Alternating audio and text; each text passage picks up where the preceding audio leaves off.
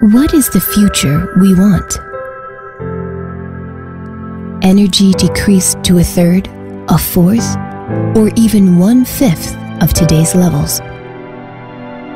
Energy conservation is the key to fresh air, a safe climate, and a sustainable future.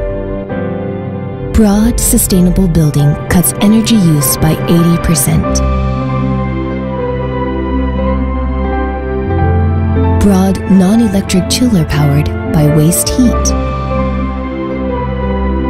Broad Clean Fresh Air Machine eliminates PM 2.5 by 99.9% while recovering 80% of energy. Broad Group, creating a future that humanity wants.